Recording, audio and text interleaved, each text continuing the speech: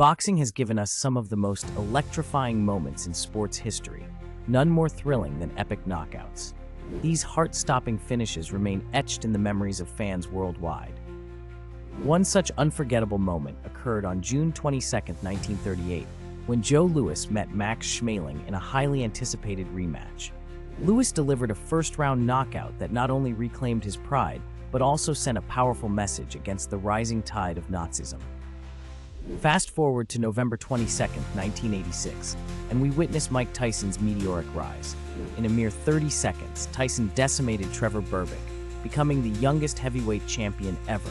His ferocity and power were undeniable. Another iconic knockout came on June 28, 1997, when Lennox Lewis squared off against Andrew Golota. Lewis's clinical destruction of Golota in the first round showcased his technical prowess and solidified his legacy. More recently, on December 7, 2019, Andy Ruiz Jr. faced Anthony Joshua in a highly anticipated rematch. Joshua's precision and strategy led to a seventh round knockout, proving his resilience and skill.